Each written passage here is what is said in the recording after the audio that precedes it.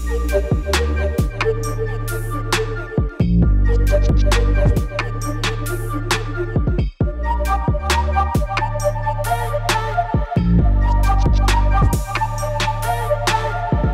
Bonjour les Itata, salut tout le monde, j'espère que vous allez bien. Moi c'est Giovanni et je suis ravi de vous retrouver dans ce nouveau numéro de Check One.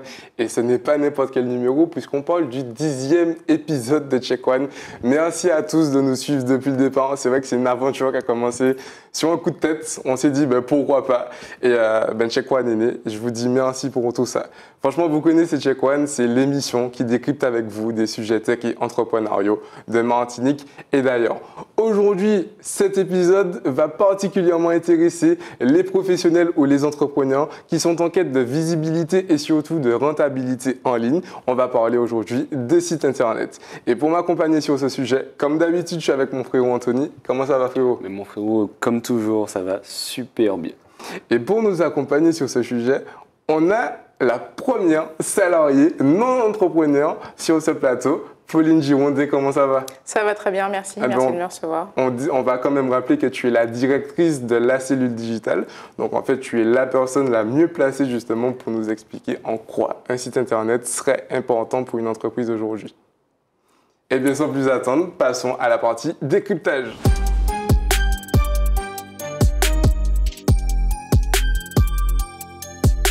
C'est devenu presque banal. Quand on a besoin d'un produit ou d'un service, le premier réflexe que l'on a, c'est de taper ce produit ou ce service dont on a besoin sur Internet. En général, c'est sur Google. Et on tombe généralement sur un site Internet d'une entreprise qui propose ce produit ou ce service. Mais c'est un site Internet, qu'est-ce que c'est?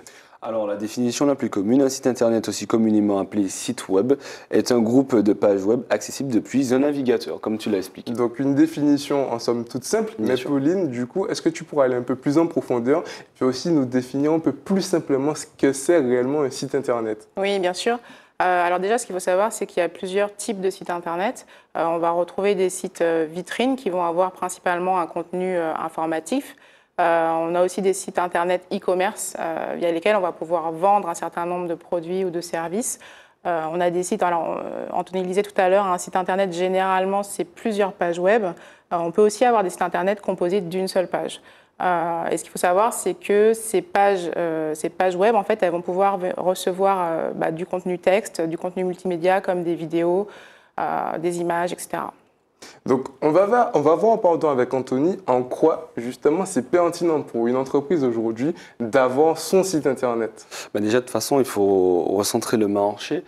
Euh, il y a 1,7 milliard. Excusez-moi. Euh, du coup, il y a 1,7 milliard de sites internet créés dans le monde en 2020. 66% euh, des TPE-PME ont un site internet. 92% des TPE-PME considèrent leur présence en ligne comme indispensable à leur activité.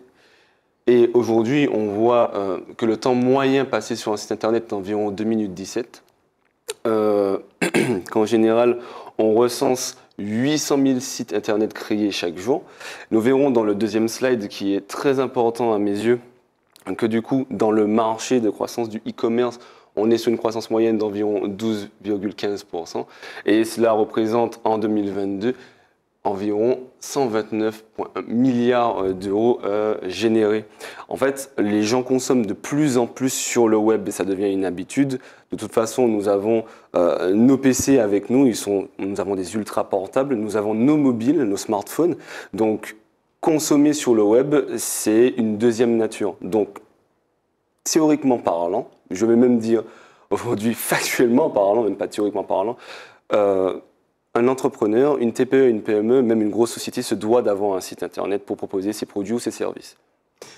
Pauline, est-ce que pour démarrer une activité, le site internet est obligatoire Est-ce qu'on ne peut plus fonctionner comme avant? Ça veut dire par bouche à oreille, on a un petit commerce, les gens viennent, on fait nos transactions, c'est terminé. Est-ce que maintenant la révolution est inévitablement par le site internet? Très honnêtement, pour moi, c'est devenu vraiment un élément incontournable euh, quand on veut se lancer, quand on crée son entreprise. Euh, tu le disais tout à l'heure, euh, on, a, ce réflexe aujourd'hui quand on cherche un établissement qu'on nous a conseillé ou simplement on recherche un service, etc., la première chose qu'on a tendance à faire, c'est aller rechercher sur un moteur de recherche. Euh, et du coup, le fait d'avoir euh, un site internet, ça permet bah, non seulement de, garder une visibilité euh, permanente, donc 24 heures sur 24, 7 jours, sur 7, n'importe où dans le monde. ça permet de, donner du contenu informatif à, ses clients. Donc, bah, par exemple, ça peut être ses horaires d'ouverture, sa localisation, si on a un point de vente physique, par exemple. ça permet de convertir des prospects en clients, ça permet de, faire tout un tas de choses. Et pour moi, c'est véritablement devenu incontournable. Et ce qu'il faut savoir, c'est que de plus en plus, les études montrent euh, que euh, les, utilisateurs en général euh, vont avoir une image plus négative d'une entreprise qui n'a pas de site Internet. Donc même si c'est quelque chose de très simple, il faut s'assurer dans tous les cas d'avoir une présence en ligne et ça passe aussi et principalement par son site Internet. Une fois le site Internet créé pour vos clients, donc je suppose qu'il y a un suivi, vous voyez justement l'attrait qu'il y a pour les sites Internet en général pour, pour vos clients? Bah, euh, très clairement, oui. Euh, après, euh, d'une manière générale, quand, nos clients créent leur site internet et, se mettent en ligne, donc après, ce qu'il faut savoir, c'est qu'il ne suffit pas de faire son site internet. Il faut communiquer autour, que ce soit à travers les réseaux sociaux, à travers des campagnes de publicité. il faut optimiser, bien sûr, son référencement naturel pour remonter dans les moteurs de recherche. mais ça fait la différence. Ça fait la différence parce que ça légitime, entre guillemets, l'activité en fait de, de l'entreprise ça apporte un, aspect plus professionnel, c'est rassurant pour euh, les utilisateurs finaux, euh, donc forcément ça convertit mieux. Comment on fait pour avoir son site internet quand on est une entreprise? Bien, on vient nous voir. non. Euh, c'est-à-dire, comment on fait? Alors, on entend parler des CMS, donc euh, plus communément, si je vous parle de Wix, Shopify, Anthony se fait une, euh, une, joie de vous expliquer ce que c'est en détail, mais de prime abord, donc ceux qui comprennent, Wix, Shopify, on entend aussi parler de développement pur, de développement code, donc en général on passe par des agences. Est-ce que justement tu peux nous donner ben, la pertinence de ces choix de conception de site internet et qu'est-ce qui serait le mieux adapté pour chaque structure? Je pense que la première chose à faire, c'est de bien identifier en fait ses objectifs. Euh, par exemple, est-ce que je veux vendre sur Internet? Est-ce que j'ai simplement besoin d'avoir une carte de visite entre guillemets sur Internet? Est-ce que je veux que mes utilisateurs, je sais pas, prennent rendez-vous, etc. Euh, et à partir de là, en fait, euh, ça va permettre de définir les fonctionnalités dont on va avoir besoin sur un site Internet. Le mieux, c'est toujours de se faire accompagner, euh, bien entendu, parce qu'il y a des personnes dont c'est le métier et qui pourront euh, bah, guider les entreprises sur, euh, le meilleur outil. maintenant, effectivement, il y a de plus en plus de solutions qui sont très simples à mettre en place, et notamment Wix, qui permettent, même, qui à minima en fait, de, s'assurer d'avoir bah, une présence en ligne, tout simplement. Après, sur des sites internet un petit peu plus complexes, ça va être intéressant de rentrer sur des CMS enfin plus, plus poussé, exactement, euh, voire même effectivement de développer euh, du sur-mesure par, euh, par des développeurs. Mais justement, il y a cette notion de prix qui bloque souvent les, les, entrepreneurs, on le voit. Quand justement vos clients viennent vers vous, peut-être pour prendre des renseignements, est-ce qu'ils sont bloqués? Est-ce qu'ils ils ont cette réflexion-là de se dire ah oui mais c'est trop cher C'est trop cher. Alors c'est un critère, c'est un critère qui est extrêmement important bien sûr. Euh, y a, il, faut, il faut savoir moduler et, euh, comme je dis, euh, en, fonction du périmètre qu'on va définir, un site internet, ça peut coûter très cher, mais ce n'est pas une obligation. Ça va vraiment dépendre du nombre de pages, de la navigation, de si on veut enfin, des, des, fonctionnalités, des, fonctionnalités, très particulières.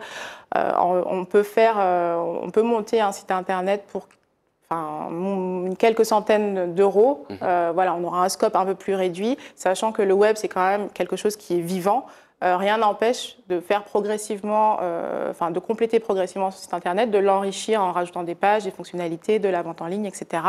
voilà, pour moi l'essentiel c'est d'avoir quelque chose de bien fait, même si c'est quelque chose qui reste simple, euh, quitte à le faire grandir euh, après. Bah, c'est très intéressant. Du coup, euh, de faire comprendre aux gens qui peuvent partir d'une solution, on va dire, light, qui peuvent l'améliorer par la suite. Donc, dans, votre modèle, dans ce que vous proposez, vous, vous faites part de cela aux, clients Oui, complètement. Et d'ailleurs, enfin, la plupart des, de nos clients et des sites internet qu'on réalise sont sont un peu dans cette optique. On suggère souvent en fait de procéder par étapes, Mhm. ce qui permet aussi quelque part de faire un peu du test and learn, de voir ce qui prend, ce qui prend pas, avant de venir rajouter de nouvelles fonctionnalités, de nouvelles pages, etc. Alors, moi, j'ai envie de te poser la question du côté utilisateur. Est-ce que tu penses que nous, déjà, notre population martiniquaise, ben, le site internet est devenu quelque chose de si banal qu'en fait, notre expérience utilisateur en tant que consommateur du web est celle qu'on pourrait retrouver ben, typiquement en France hexagonale ou aux États-Unis? Est-ce que tu penses que l'utilisation du site internet côté utilisateur et consommateur est autant, voire plus, euh, on va dire, optimisée et Ouais. arrangée pour nous? En fait, le truc, c'est que euh, on, fait souvent un parallèle entre euh, les utilisateurs euh, au national ou dans le monde euh, et les utilisateurs sur nos territoires. Ce qu'il faut savoir, c'est que, en, enfin, en tout cas, euh, les- les- le marché, euh, sur le marché euh, on sait aujourd'hui que, euh, il y a une étude de 2022 qui, a démontré qu'on est quasiment 86% euh, à, aller sur Internet euh, régulièrement, très régulièrement. Euh, on est de plus en plus à vouloir euh, consommer, acheter sur Internet avec bah, les premiers freins, en fait, ça va être euh, soit des problèmes de livraison, soit ah bah, un manque de confiance parce que le site n'est pas forcément très bien fait, donc on a peur que ce soit une arnaque. Mais globalement, on se rend compte que les attentes des utilisateurs sont les mêmes. Et au niveau des usages, on est, on est, une, population qui est très équipée. Euh, je crois qu'on est autour de 90% des, des- des internautes en fait à surfer sur notre mobile. Euh, donc voilà, donc finalement les usages, euh, enfin les attentes sont les mêmes. Euh, maintenant, On n'a euh, pas de décalage par rapport. On a bah- tendance à se dire là-bas c'est mieux. Aux États-Unis, ils sont plus smart, ils sont plus définis. Disons que c'est plutôt au niveau des. des- des- enfin, on a, j'ai souvent entendu, il y a un retard de 5 ans sur, euh, sur les sites internet, les applications, etc., en local par rapport au national. Euh, c'est vrai, euh, mais euh, enfin, moi je, ressens quand même depuis plusieurs années un, véritable engouement, une véritable volonté des entreprises à répondre à ces attentes utilisateurs. On se rend compte que c'est vraiment au cœur de leurs préoccupations aujourd'hui, c'est une bonne chose, parce que c'est incontournable enfin, pour sa communication et pour son business. Est-ce que, euh, d'un point de vue géographique, nous avons une consommation UX, en tout cas des, des- des points UX, UI qui diffèrent euh, de, de grands pays comme la à France définir pour ceux qui nous écoutent et nous regardent. Euh, Expérience utilisateur et euh, expérience interne, enfin ressources et autres. Donc, est-ce que nous, nous avons une consommation bien différente aux Antilles? Est-ce que, je sais pas, est-ce que le parcours justement utilisateur serait différent? Les parcours sont forcément différents, puisque euh, on, a, on est, enfin, au niveau du contexte et des habitudes de, de consommation, de, enfin, si je prends ne serait-ce que euh, les achats en ligne, euh, on va pas du tout avoir la même, les mêmes, enfin, les mêmes, euh, comment dire, les mêmes, euh, les mêmes automatismes que, que- que dans une grande ville euh, sur la métropole. Euh, bah, tout simplement parce que euh, c'est pas très loin de chez moi, parce que je ne sais pas en termes de transport, de logistique, je sais que c'est pas forcément évident ici, donc j'ai un doute. Euh, donc forcément, le, le- le- et c'est la force de l'UX, enfin du design UX en fait, c'est de réfléchir justement au parcours euh, de nos utilisateurs, de nos clients, de, de- de l'utilisateur final finalement, essayer d'apporter, euh, enfin de, de créer des expériences qui soient euh, optimales pour ces utilisateurs, tout en répondant en fait à des problématiques d'ordre business et euh, voilà. Et en termes de sécurité, en termes de sécurité, est-ce qu'aujourd'hui, c'est 100% fiable de, de- de confier un petit peu euh, cette rentabilité générale euh, pour une entreprise avec son site internet Il faut un suivi. Il faut un suivi. On ne fait pas un site internet pour le laisser dans un coin et attendre qu'il travaille tout seul et sans s'en occuper. Euh, il faut vérifier la sécurité effectivement de, de son site internet. Donc ça passe par, par de la maintenance. Euh, qui est à faire tout au long de la vie du site internet. Euh, donc il y a des mises à jour à faire. Il y a, enfin, voilà, on n'est jamais à l'abri euh, de tentatives de, piratage de toute façon de son site internet, que ce soit de l'e-commerce ou simplement des sites vitrines d'ailleurs. Donc de toute façon, il faut suivre et maintenir son site internet. D'accord. Les clients en général en Martinique, pour commencer, ils sont friands de quel type de site? Quelle est la plus grosse demande? On parle des, des- des clients euh, annonceurs ou des utilisateurs finaux? Non, des clients annonceurs. Alors, ça va vraiment dépendre du secteur d'activité. Euh, enfin, ça va vraiment dépendre du secteur d'activité. disons que il y a, a, qu'aujourd'hui, il y a encore pas mal de craintes autour de, de l'e-commerce mhm. parce que ça nécessite aussi en interne la mise en place d'une certaine logistique. voilà, donc, mais globalement, ah, j'avoue que je, sèche un peu sur la question. on pourra couper ça parce que... Il n'y a pas de souci. Du coup, avant de conclure cette euh, partie décryptage sur les sites internet, Pauline, j'aimerais juste que tu donnes quelques conseils à, des entrepreneurs, des jeunes ou des moins jeunes d'ailleurs, pour ben, l'élaboration de leur site internet, la conception de leur site internet. Tu les dirigerais vers quelle solution euh, Solution technique, tu veux dire? Oui. Alors encore une fois, euh, il y en a beaucoup. Euh, nous, on travaille euh, énormément avec WordPress, qui globalement permet de faire. Enfin, ça fait un, petit moment que je suis dans le milieu, et c'est vrai que pour l'instant, je n'ai pas encore rencontré de cas de figure qu'on ne puisse pas mettre en place avec WordPress. Euh, c'est une solution euh, qui permet de limiter les coûts également, euh, puisqu'on a déjà une bonne base mhm. sur, la base du CMS. maintenant, encore une fois, tout va dépendre de ses objectifs, des fonctionnalités qu'on veut mettre en place. voilà. Super, merci beaucoup Pauline pour tes petits tips et tes petits conseils. Maintenant, on va s'intéresser un petit, un petit peu plus pardon, à toi. Comme je l'ai dit précédemment, tu es la première non-entrepreneuse à venir sur le plateau de chez One. Donc, on va voir avec toi ben, ton parcours et ben, comment tu as fait pour en arriver jusque-là. C'est parti pour la partie portrait.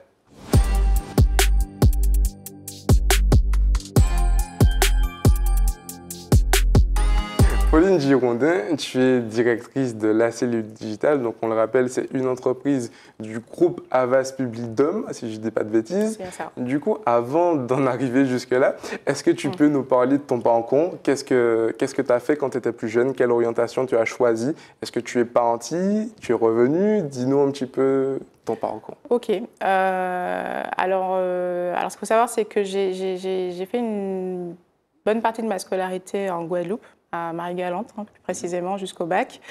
Euh, je m'orientais initialement plutôt sur euh, des études scientifiques, mais euh, j'ai toujours été attirée par, bah, par la création, par le design. Donc j'ai intégré tout d'abord en Martinique donc, le campus caribéen des arts, où j'ai appris le design graphique. et puis j'ai voulu me spécialiser sur le digital, donc j'ai dû partir sur Paris donc, pour un bachelor en conception euh, et réalisation de, projets multimédia. Euh, voilà, donc, et puis je suis revenue en Martinique, donc j'ai travaillé quelques années, j'ai intégré le groupe en 2008, pour être exact.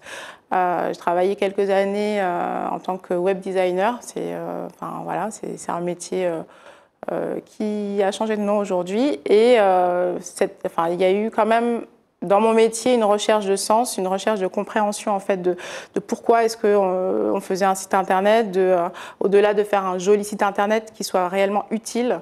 Euh, et du coup, j'ai poursuivi sur un master en direction de projet digital et UX design au Gobelin à Paris.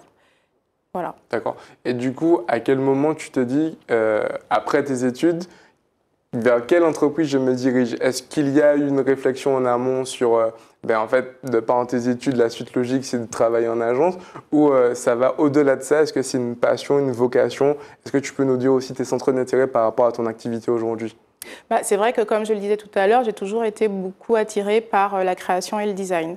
Euh, donc j'ai eu la chance en fait euh, d'intégrer euh, bah, Avas Publidom, qui est un groupe de publicité. J'ai fait plusieurs agences au sein du groupe et pour le coup avec des équipes créatives, plusieurs corps de métier. C'est un groupe qui, qui accueille des entités avec des métiers complémentaires. autour de la création du design de la publicité. Donc, j'ai toujours été stimulée en fait. Enfin, voilà, pour le coup, c'est un métier passion. Euh, et puis j'ai grandi euh, ben, dans, cet environnement euh, et, voilà. du coup, mais du coup, tu reviens en Martinique. comment ça se passe? Alors, je, en fait, je reviens en Martinique. initialement, les compétences digitales étaient intégrées à l'agence C'est Direct. Euh, je reviens en Martinique et je, euh, en fait, je, deviens un peu la directrice du pôle digital. La cellule digitale n'était pas encore créée, euh, mais voilà, on, renforce un petit peu l'équipe. les projets prennent de plus en plus d'ampleur et très rapidement, en fait, la crise sanitaire arrive avec le confinement et là, en fait, le, enfin, ça explose. ça explose et on se rend compte qu'il y a une maturité digitale qui, qui, grandit très très très vite à ce mmh. moment-là, aussi bien auprès des utilisateurs que des annonceurs. Euh, voilà. Et, euh, et, du coup, au sortir de, de, de, cette période, on décide de, euh, bah, de créer réellement une agence web qu'on va appeler la cellule digitale. D'accord. Et tu, tu, le vis comment justement, cette période Covid, où il y a peut-être beaucoup de boulot, le, le stress, comment tu vis ça? Bah, En fait, c'était c'était assez étrange parce que euh, je, voyais beaucoup de témoignages sur des, personnes qui, disaient qu'elles faisaient du yoga, qu'elles n'avaient pas grand-chose à faire. Nous, pour le coup, je pense qu'on n'a jamais eu autant de travail qu'à sur cette période-là. Mais euh, enfin, je dois dire que j'ai la chance d'avoir une équipe euh, qui, qui, en veut. Euh, qui, est passionné et euh, pour le coup on, a vraiment enfin on a cravaché pendant toute cette période. C'était même plutôt stimulant. On a on a on a eu enfin on a eu des idées on a proposé de nouvelles choses. Mhm. euh, voilà on était vraiment pour le coup hyper stimulé et voilà. Donc en fait je l'ai plutôt bien vécu. Et aujourd'hui une journée type à la cellule digitale c'est quoi? Il se passe beaucoup de choses à la cellule digitale.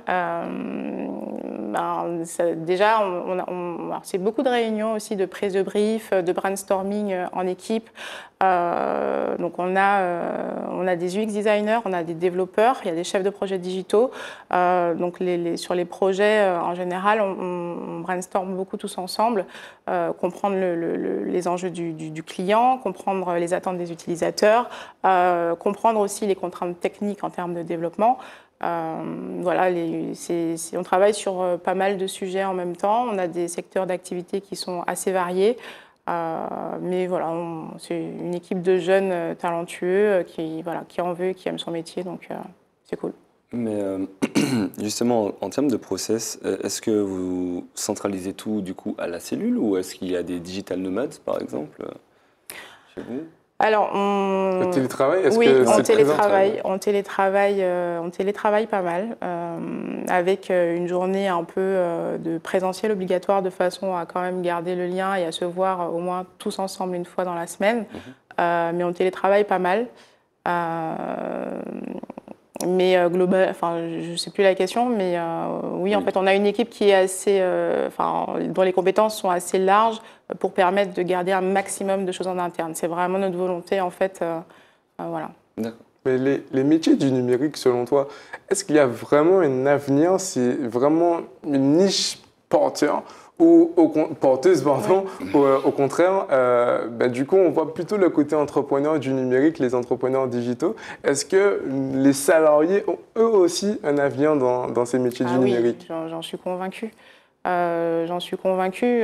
pour prendre l'exemple de la cellule, entre, je, prends mon expérience. Euh, je vois à quel point les choses évoluent vite euh, euh, il y, a de nouvelles technologies qui, arrivent tous les jours. En termes de création, on va toujours plus loin. En termes d'innovation, on va toujours plus loin. et puis les usages, les utilisateurs font la preuve que aujourd'hui il faut du digital, il faut passer par le digital. Et il y a de plus en plus, de toute façon, de, de, formations, même en Martinique, qui, qui, se mettent en place, et c'est bien, c'est une bonne chose. Euh, oui, oui. Et, en tant, et en tant que directrice, tu sens vraiment que ben, la nouvelle génération, les jeunes sont davantage orientés vers ces métiers? Tu reçois davantage de candidatures, ce, ce genre de choses? Complètement. On en reçoit tous les jours, euh, aussi bien sur des profils, alors que ce soit sur euh, euh, les réseaux sociaux, du design, du développement, de la gestion de projet, du traffic management. c'est vraiment enfin, quelque chose qui, explose. Et est-ce que tu conseillerais justement à ces jeunes qui sont intéressés par cette branche de quitter le territoire, d'aller voir ce qui se passe ailleurs, de prendre en expérience ou au contraire d'essayer de se dépatouiller avec les moyens dont ils disposent ici et puis de créer quelque chose, de proposer des choses à la cellule ou à d'autres organismes de ce style, qu'est-ce que tu leur conseillerais de faire en suivant ton parcours? Alors, pour le coup, moi, je suis partie parce que euh, à ce moment-là, l'offre de formation n'était pas suffisante. Et puis, je vais pas mentir, j'avais aussi envie de voir autre chose euh, d'un point de vue euh, culturel. Enfin, c'est sûr que partir, ça aide. Et puis, les voyages forment la jeunesse. donc, c'est toujours intéressant de partir pour voir ce qui se passe ailleurs, pour bah, éventuellement se former, etc. Mais honnêtement, il y, y, a tellement de choses à faire ici. pour le coup, je trouve qu'on est, enfin, il y, a tout à faire et c'est ça qui est intéressant, c'est un véritable challenge. moi, c'est ce qui m'a en partie, en grande partie donné envie de revenir, c'est de me dire, ok, j'ai acquis des compétences, je sais faire des choses, j'ai envie de les faire chez moi, j'ai envie d'apporter ma pierre à l'édifice, voilà. Mais est-ce que ces compétences-là sont bien reçues? Est-ce que tu penses que la population reçoit ça de, de la bonne façon ou est-ce qu'ils sont très réfractaires Non, je, enfin, je pense que c'est bien reçu. Il y a peut-être sur certains corps de métier, je pense notamment à l'UX design, mhm. euh, un peu un travail d'accompagnement, de, d'explication à faire. Mhm. euh, mais, euh, mais en soi, c'est plutôt bien reçu. Euh, de toute façon, concrètement, c'est on a besoin en fait de, de, ces compétences-là, on a besoin d'avancer dans ce sens-là. Donc, euh, Bien sûr. Alors moi j'ai une dernière question, c'est la signature de Check One mais qui va être un peu refaçonnée puisque d'habitude on la pose à des entrepreneurs, mais là je vais te la poser en tant que directrice euh, d'agence. Et euh, ce n'est pas ma question, c'est la question que j'ai eue de par plusieurs personnes qui suivent Check One et ce sont des étudiants. Quel conseil tu donnerais à des étudiants qui cherchent une alternance dans les métiers du numérique? Parce que bizarrement, moi j'ai des échos comme quoi ben, c'est compliqué de se faire euh, repérer et d'être signé par des agences. Donc quel conseil tu leur donnerais? Écoutez bien les gars, les filles aussi, si vous nous regardez que vous galérez pour une alternance, qu'est-ce qu'il faudrait faire? Alors déjà, si c'est euh, une recherche d'alternance plutôt orientée design, accompagner euh, son CV, sa lettre de motivation, d'un portfolio, d'un book, euh, même s'il n'y a pas grand-chose, même si c'est des projets d'études, de ne pas hésiter parce que ça permet d'identifier un peu la patte, de voir un petit peu le style graphique. ça, c'est très important. Et, et puis, si c'est un profil plutôt développeur, euh, bah, bien penser à. Enfin, ça peut être intéressant de, de, de, de faire des projets euh, tests euh, pour envoyer un lien, dire ben voilà, ça c'est moi qui l'ai fait. Et, et, ça donne un peu l'idée de, de la motivation de, la personne. Après, euh, enfin, je sais que nous, on, a reçu euh, quand même des alternants euh, au sein de la cellule. c'est important aussi que les entreprises, que les entreprises pardon, jouent le jeu, je trouve. Enfin, on, a, on a un rôle à jouer aussi sur la transmission, sur enfin, voilà, former, former les talents de chez nous. Donc, voilà. Et puis surtout, ne pas lâcher. pas lâcher parce que c'est vraiment des métiers passion et, je pense qu'à partir du, moment où on, travaille dans un milieu qu'on aime, euh, voilà, il faut se donner les moyens euh, et, on finit par y arriver. Pauline, merci pour tes conseils. Merci, d'être venue sur le plateau de Avec plaisir, merci de m'avoir reçu. Anthony, merci beaucoup. L'émission touche à sa fin, les amis. Merci de nous avoir écoutés, merci de nous avoir regardés. Moi, je vous donne rendez-vous dans un prochain numéro de Check One. D'ici là, portez-vous bien et n'oubliez pas de nous suivre sur les réseaux sociaux, c'est important. Allez, bisous, portez-vous bien.